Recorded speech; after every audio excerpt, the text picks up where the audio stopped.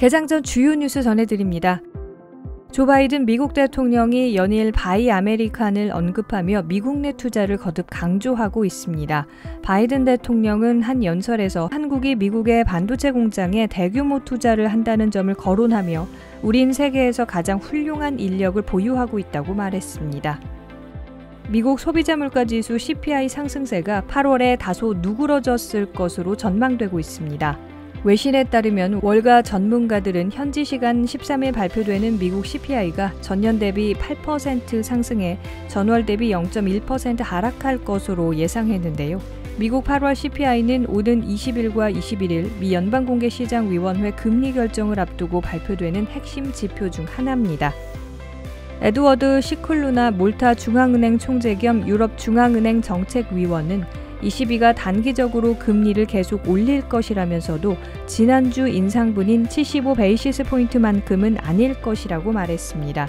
외신에 따르면 에드워드 시클루나 총재는 인터뷰에서 이번이 유일한 금리 인상은 아닐 것이라며 몇 차례 더 금리 인상이 이루어질 것이라고 말했습니다. 앞서 크리스틴 라가르드 ECB 총재도 몇 차례 회의에서 금리가 더 인상될 것이라고 밝혔습니다. 지난 7월부터 이어진 bear market rally가 마무리되고 9월 들어 긴축 우려의 증시 불안이 이어지면서 공매도 거래 대금이 늘어나고 있습니다. 12일 한국거래소에 따르면 이달 1일부터 8일까지 6거래일간 일평균 공매도 거래 대금은 4,925억 원으로 집계됐습니다.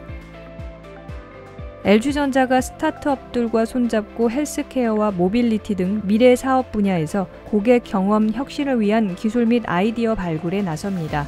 LG전자는 북미 이노베이션 센터가 이달 7일에서 8일 미국 샌프란시스코 더 크레인웨이 파빌리온에서 개최한 아이디어 공모전에서 미래를 위한 과제에 최종 선발된 9개 스타트업을 발표했는데요.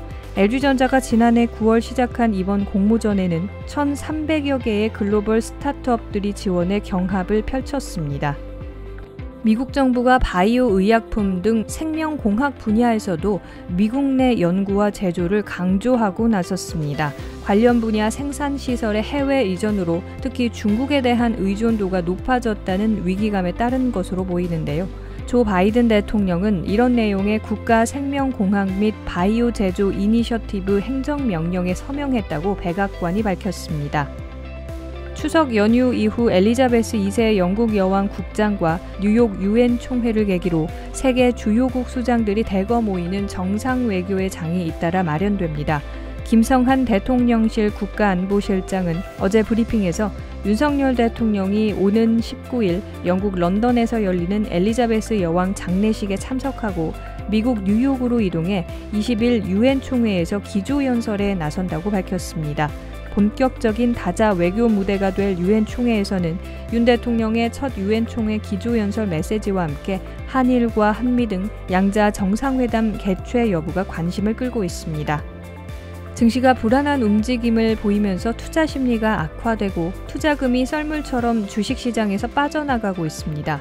금융투자협회에 따르면 8월 말 기준 투자자 예탁금은 53조 632억 원을 기록했는데요. 이는 2020년 11월 6일 이후 가장 적은 금액입니다. 올 들어 코스피 시가총액 330조 이상이 줄어든 것으로 나타났습니다. 지난 8일 기준 코스피 전체 시가총액 규모는 1,878조 1,986억 원으로 지난 1월 3일 2,209조 7,268억 원 대비 331조 원가량이 감소한 것으로 집계됐습니다. 코스피 지수는 연초 3,000포인트에 근접했지만 현재 2,400선을 하회한 상황으로 올 한 해 동안 하락률이 20.2%에 이릅니다. 세계 각국의 통화 긴축 속도가 빨라지면서 추가 금리 상승 가능성이 커졌지만 우리나라 가계 대출 가운데 변동 금리 비중은 오히려 더 늘어나고 있습니다. 금리 상승기에 변동금리 조건의 대출 부실 가능성이 더 크기 때문에 한국은행과 정부가 위험을 경고하고 고정금리로의 대환을 유도하는데 아직 큰 효과가 없는 셈인데요.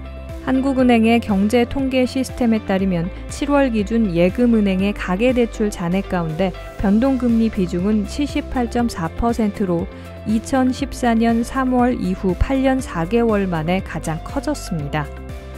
추석 연휴 기간에도 포스코 포항제철소의 복구 작업이 지속되면서 오늘부터 모든 고로가 정상 가동될 전망입니다.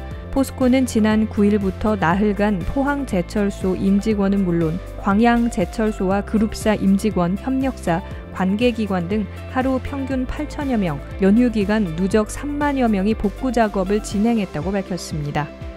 앞으로 상장회사 임원과 주요 주주 등 내부자가 회사 주식을 사거나 팔려면 최소 30일 전에 매매 목적과 가격, 기간 등의 계획을 공시해야 합니다.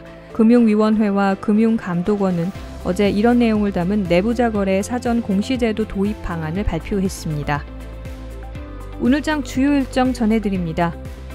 오늘 시가총액 규모별 지수 정기 변경이 진행될 예정이고요. KB 스펙 22호 공모 청약일입니다.